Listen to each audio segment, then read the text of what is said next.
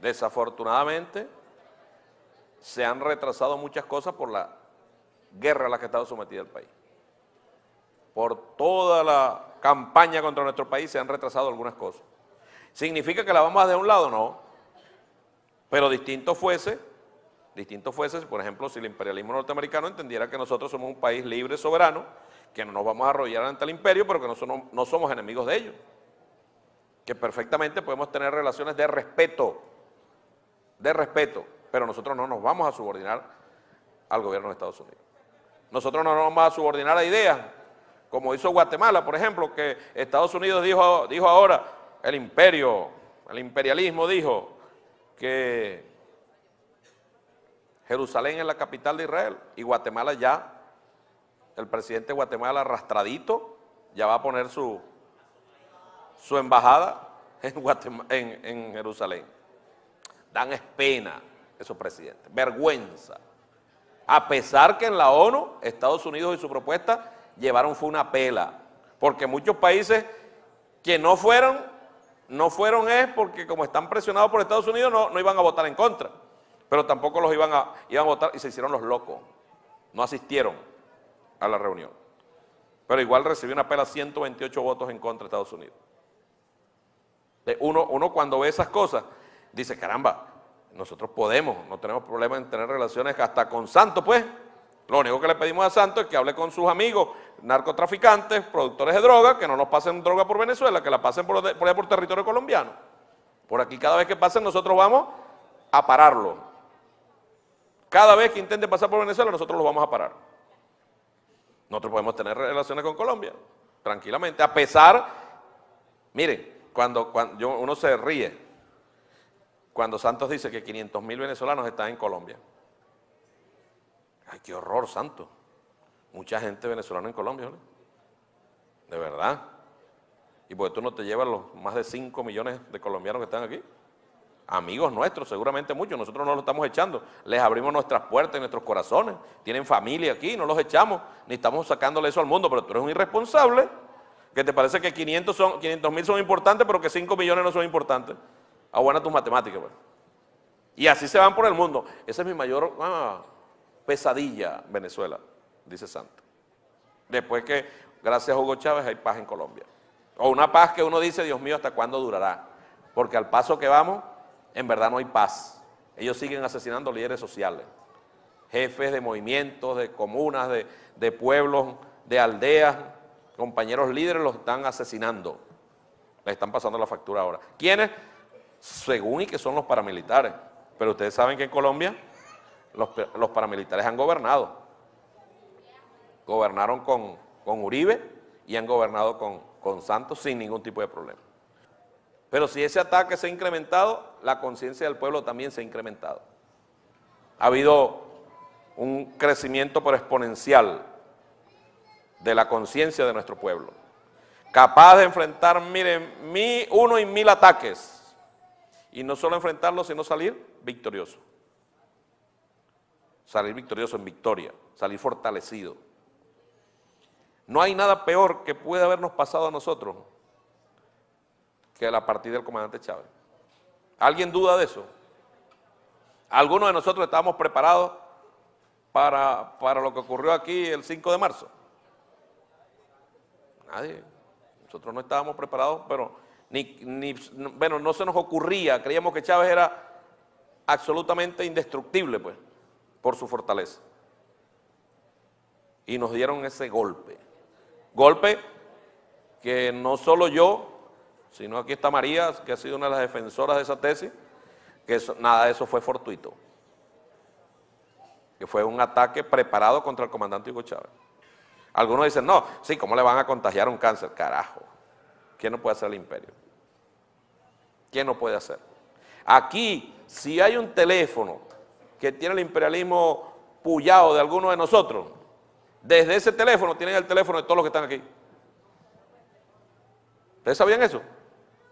Y pueden acceder al, al, directorio que tiene cada uno. Si mi teléfono está intervenido, desde este teléfono lo convierten en una antena y recogen todo lo que están aquí y pueden ver todos los, contactos que tiene cada persona.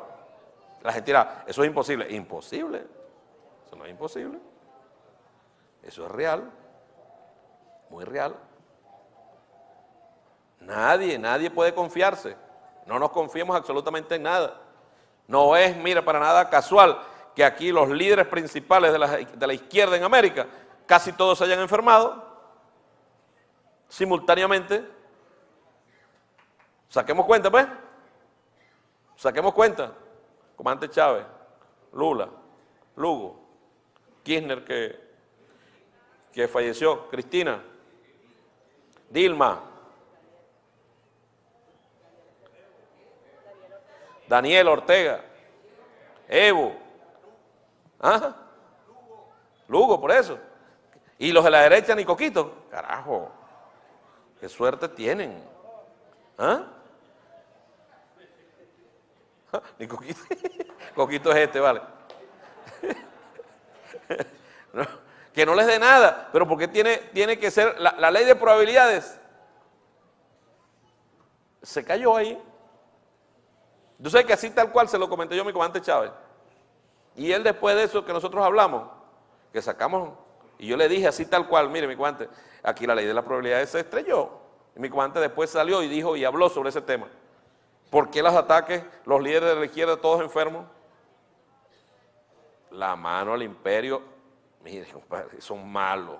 Y tiene socios inescrupulosos, arrastrados, chupamedias, que no les importa absolutamente nada. ¿Verdad, Santo? No es contigo, pero se me ocurrió tu nombre, por casualidad. Ocho años de ataque, más diez años más, y vendrán más ataques. ¿Nos rendimos? No, nos vamos a rendir. Ahí está el detalle, ahí está el detalle. Un soldado bisoño se rinde. Un soldado experimentado, una soldada experimentada no se rinde.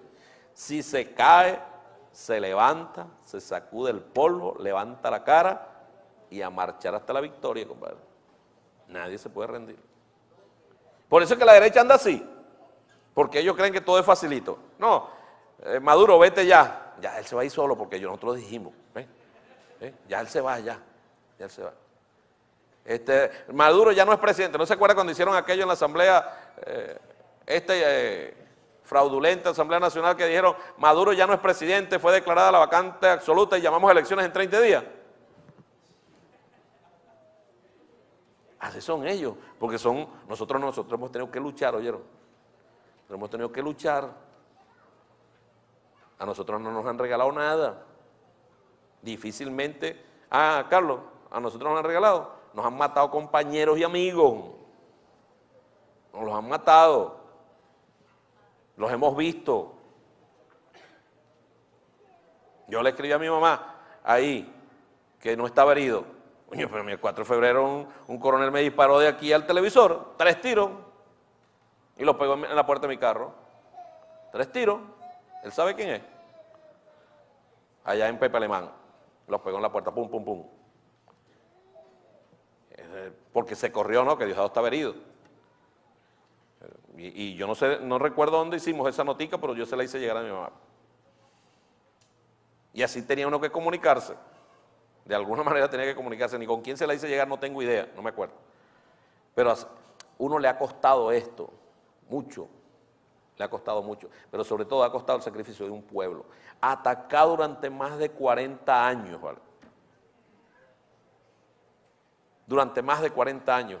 Aquí cuando llegó el comandante Chávez, el 33% de los venezolanos en edad de votar no votaba, le robaban su derecho al voto.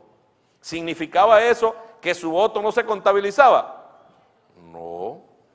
Significaba que como no sabía leer y escribir, él no ejercía el derecho al voto, sino que se lo sumaban entre ellos mismos, entre los adecos y los copellanos, gobernaron este país como le dio la gana 40 años. ¿Quién auditaba aquí elecciones en los años 60, 70?